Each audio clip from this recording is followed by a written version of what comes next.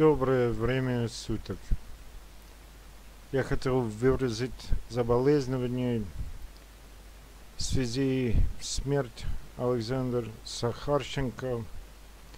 Для меня он всегда был, но он был настоящий героем. Всегда вел себя достойный, спокойный и вежливый, даже под огнем. Глубокое соболезнование всех от меня он не будет хватать.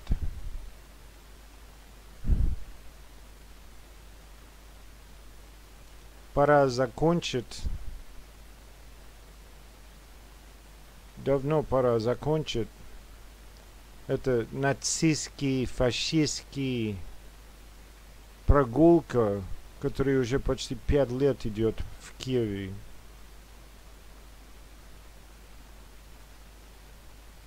Соболезнования всех в Донбассе, и я всегда с вами.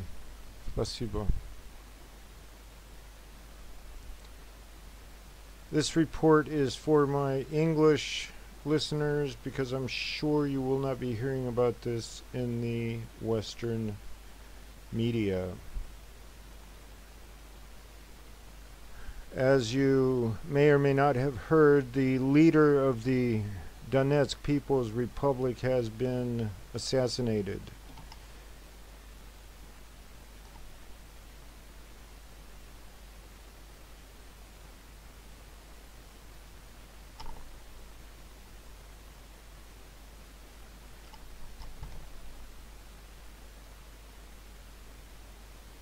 The assassination of Alexander Zaharchenko, the leader of the Donetsk People's Republic, August 31st, 2018, 2230. The leader of the Donetsk People's Republic has been assassinated in what the Russian Investigative Committee is officially classifying as an act of international terrorism. To once again clarify for the Western reader, or listener, or viewer, Alexander Zaharchenko was the leader of the Donetsk People's Republic, and Western headlines calling him the pro Russian or separatist leader are complete fabrications, and in this writer, author, or announcer's opinion, criminally libelous. The United States and the Central Intelligence Agency of the United States of America installed brutal, ignorant Nazi thugs in power in the Ukraine with the stated and proven intention of cleansing Ukraine of the Russian speaking population and those the Nazis considered to be Russians, although factually, scientifically, and genetically Ukrainians and Russians are one and the same people. These fascist forces have slaughtered over 11,000 of their own countrymen, women, and children and in the fratricidal civil war, where the Ukrainian army is killing civilians in order to clear territory for the West, the Donetsk forces are the last hope and the only hope and the only defense of the civilian population. There is no, again, Russian occupation or presence in Donbass. Zaharchenko was a brave and courageous leader, loved by the people, and will be sorely missed, and always remembered for his humility, his quiet politeness, his heroic deeds, and his historic bravery.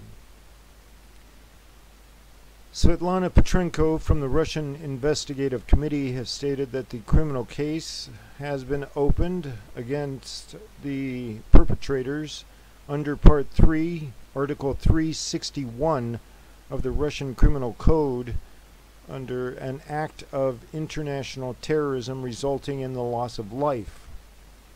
And she stated that Article 361 was brought in under the anti terrorism legislation known as the Yarova Package, a bill that was passed after the start of the Ukraine crisis, and which increases the penalties for acts of terrorism and crimes related to the carrying out of terrorist acts, and strives to bring Russian law into line with international standards and norms with regards to international terrorism.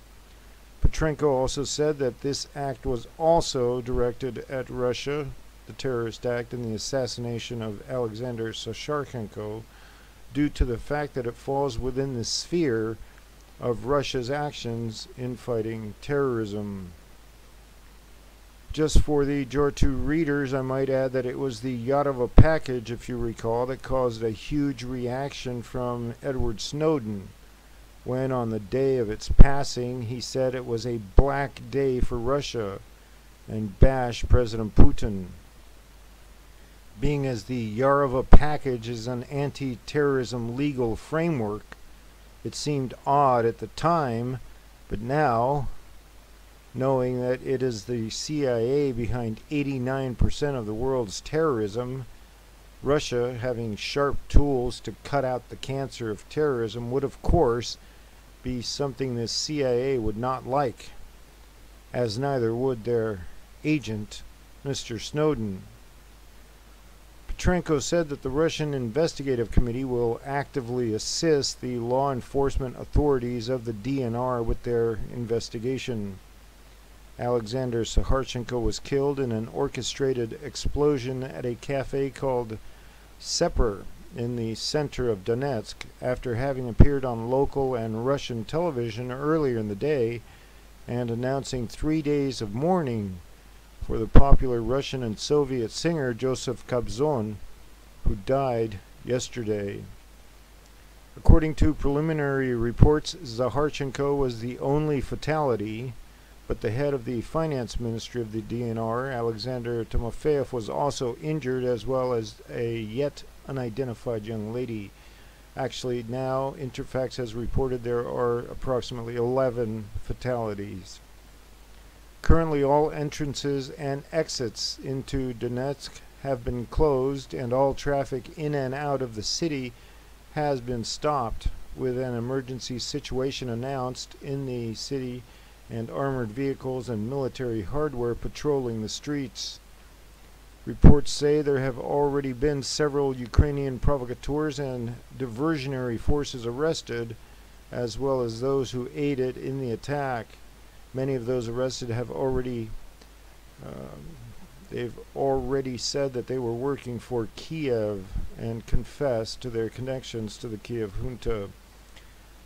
Investigators have also stated that Zaharchenko's own bodyguards are suspected of having played a role in the terrorist act.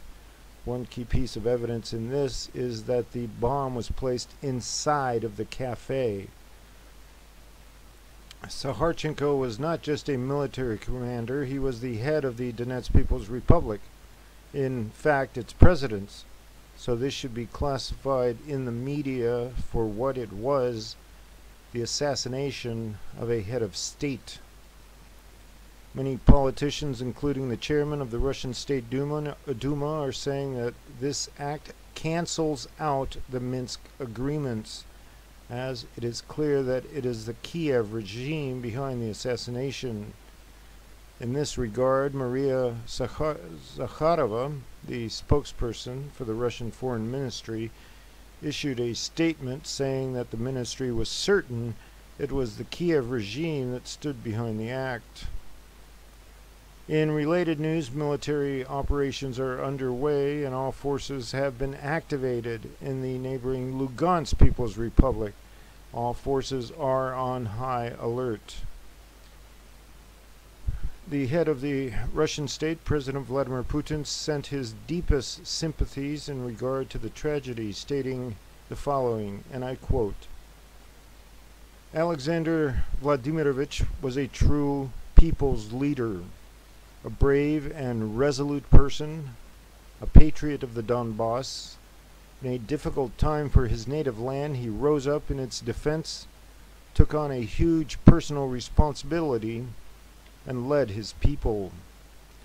The vile murder of Alexander Zaharchenko is more evidence that those who chose the path of terror, violence, and intimidation do not want to seek a peaceful political solution to the conflict and do not want to conduct a real dialogue with the inhabitants of the southeast.